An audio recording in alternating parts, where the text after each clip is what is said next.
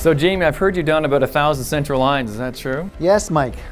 It seems to me like there's probably four roadblocks that can really get you into trouble when you're trying to throw in a line. What do you think? That's true. And you know, those roadblocks can really be a hassle sometimes. Let's see what we can do to try to ease some of that. Yeah, let's make it easy for everybody. All right, so roadblock number one is optimal patient positioning.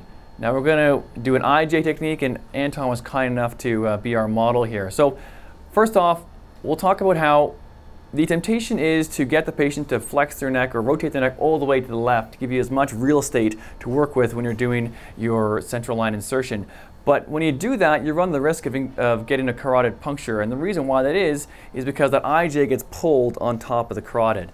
So what I do is before I do get sterile, before I do anything, I put the probe on the neck, and as Jamie will demonstrate here, I find the IJ and the carotid. And you can see the IJ is nice and relatively lateral to the carotid.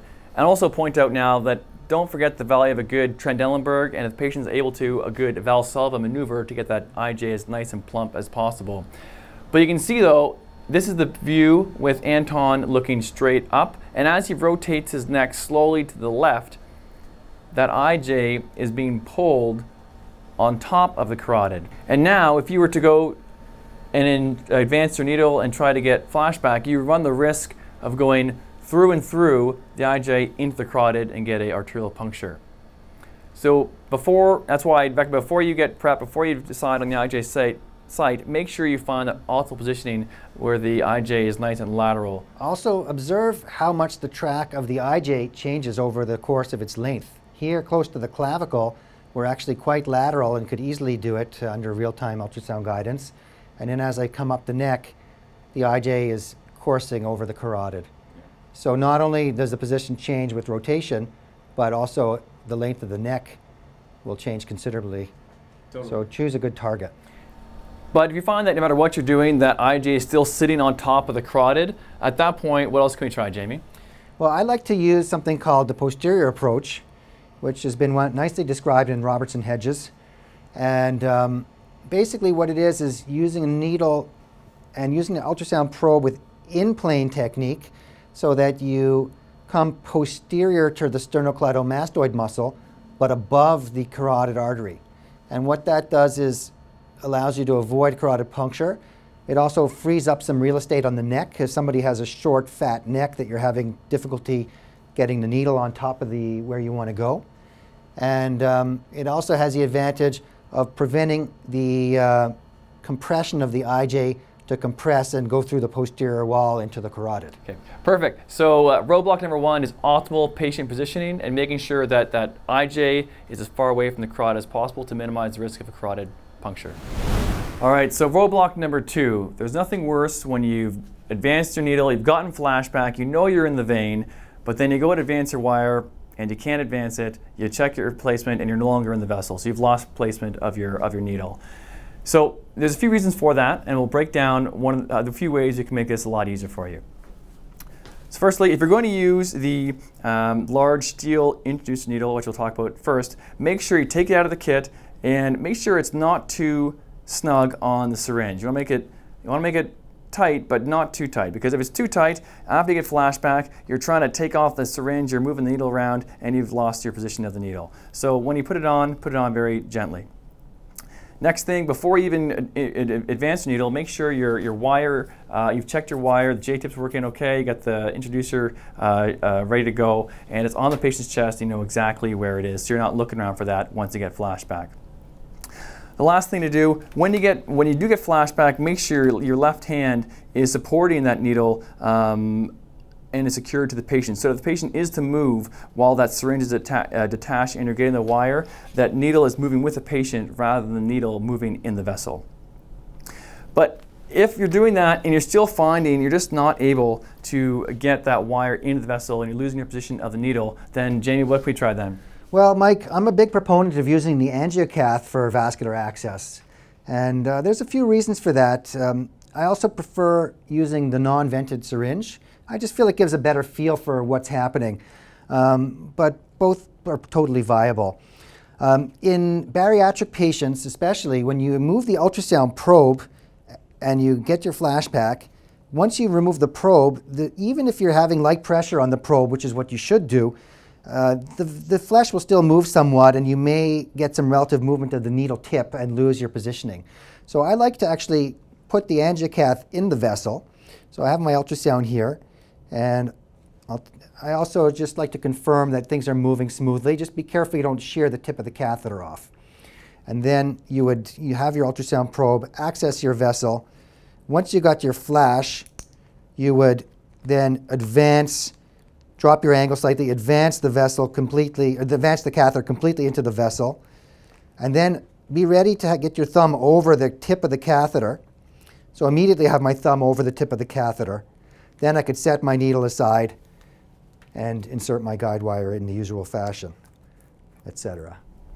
Yes, that's a nice technique because you know that once that catheter is in the vessel, it's not coming out of there. You can go get your wire, you can relax. It's not going to be moving around like you would with a needle. So it's a much nicer technique in that way, I agree. So roadblock number two, you've gotten flashback, but you can't advance your wire. We talked about if you're going to use the big steel needle, ways you can troubleshoot that. If that's not working for you, go ahead and try the angiocath.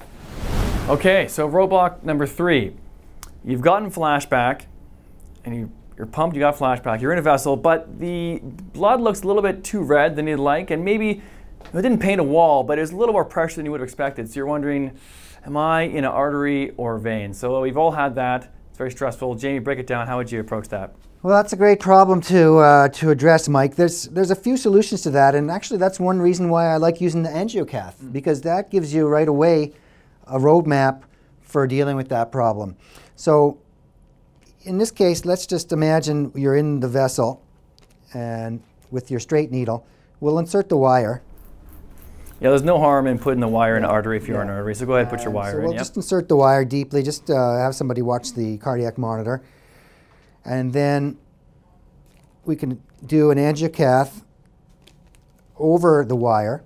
So just careful of your needle. Your angiocath can go over the wire.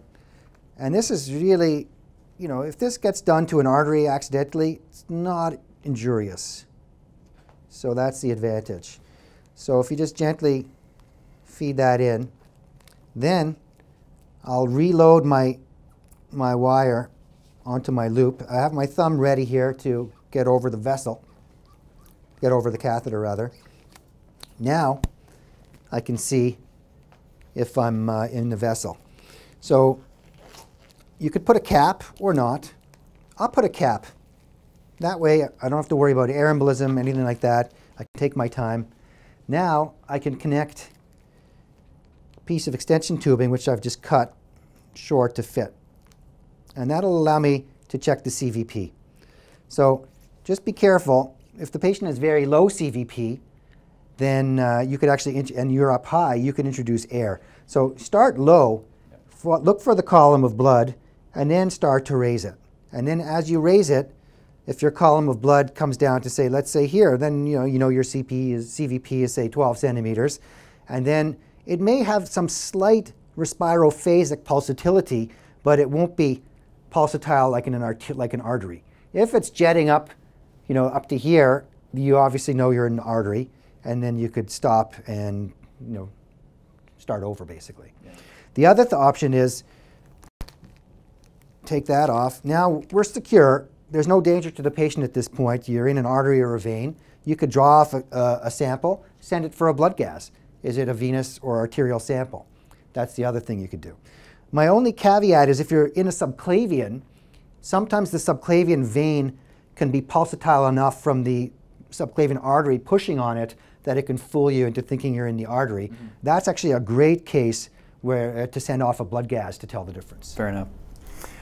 All right, so yeah, so it seems like we want to let the blood flow about 20 centimeters and then lift it up. If it go, if it starts falling down to the patient, you know you're probably in the, you know you're in the vein. But if it still rising up, then you know you're in the artery. Yeah, just be careful. There are the odd patients in severe heart failure with CVPs of 30 or 40, Fair, yeah. or so. You can sometimes be fooled, Fair but. Um, okay.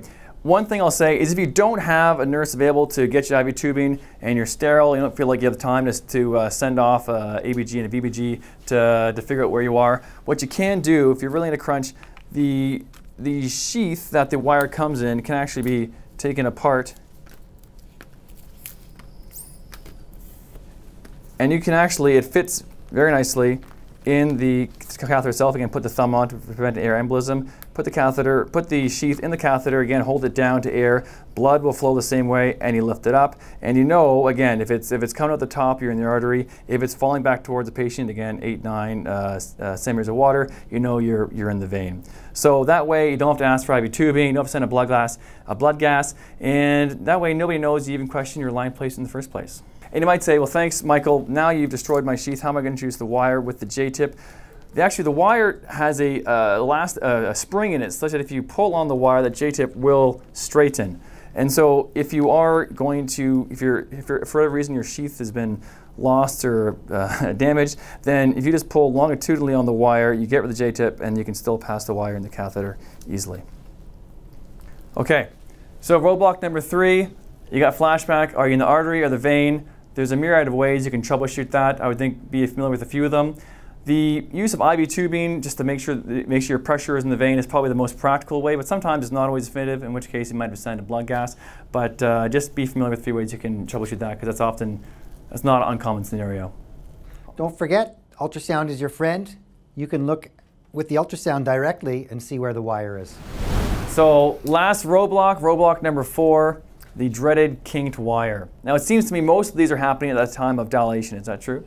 Yeah, that seems to be my experience as well. All right. So, a few things to consider. So, now your wire is in the vessel, you're going to make your cut.